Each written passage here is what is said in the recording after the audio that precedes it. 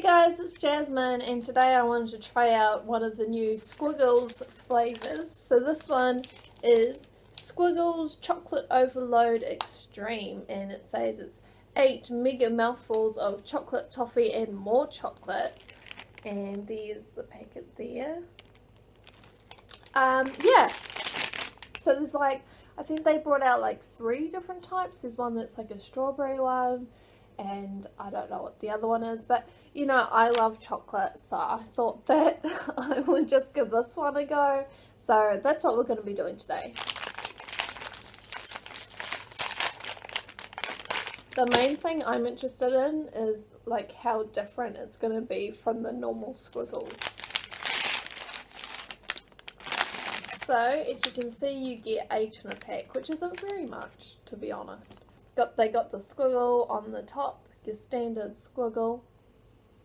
It smells really chocolatey.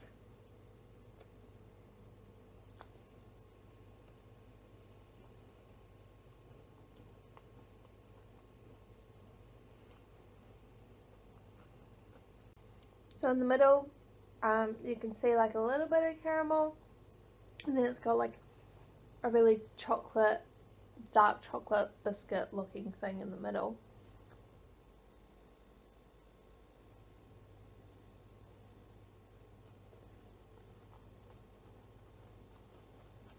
Now there's more caramel.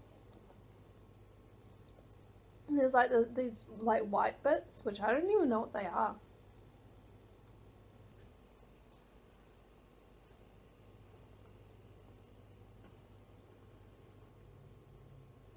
Okay, so it is quite chocolatey. So much so that you can't even really taste the caramel. But it's not very different from a normal squiggle. I would say that it's even less delicious than a normal squiggle biscuit. Because with the normal squiggle biscuit, you get more caramel, and so it balances the chocolate out and everything. But this is just like chocolate, and um, I don't know what those white bits are for, so it's kind of a little bit confusing. So in that way, it's like not a very satisfying um, experience because I kind of thought, you know, chocolate overload extreme that it was going to be at least maybe interesting. You know, like, whoa, are they totally going to overload me with chocolate? And now I just kind of feel like, you know, they didn't really. They didn't really overload me with chocolate. They just sort of they they just sort of had less of a caramel flavour than a normal squiggle. So yeah, I guess you know I'm a little bit disappointed, but then you know I did sort of pick the um, less adventurous uh, squiggle flavour because like there was a strawberry one and like I could have got on that but then like I don't really like strawberry. But it would have been more interesting for me to try that because that's quite different from what a normal squiggle is.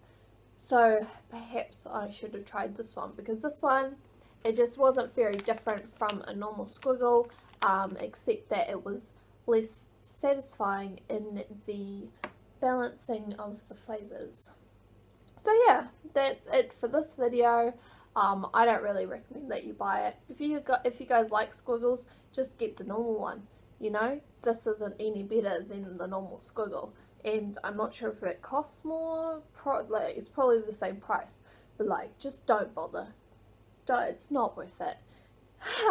That's my opinion. Obviously, you guys can check it out. And if you have tried them, then you can leave a comment below describing your experience. That'd be quite good and helpful for other people. But thank you guys so much for watching. Hopefully I will see you guys all on another video. Give this video a thumbs up and leave a nice comment below.